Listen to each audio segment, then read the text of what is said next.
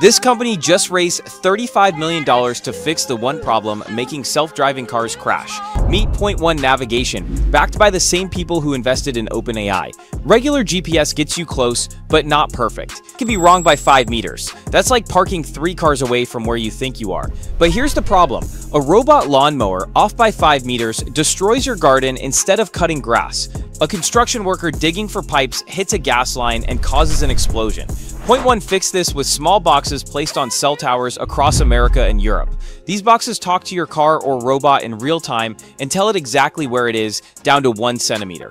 Here's the crazy part. Gas line accidents dropped 97% when workers started using this.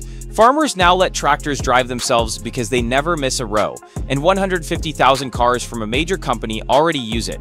10 times more companies started using Point One just this year. Self-driving cars, delivery drones, warehouse robots, they all need this to work. Regular GPS tells you which street you're on. Point One tells you which lane,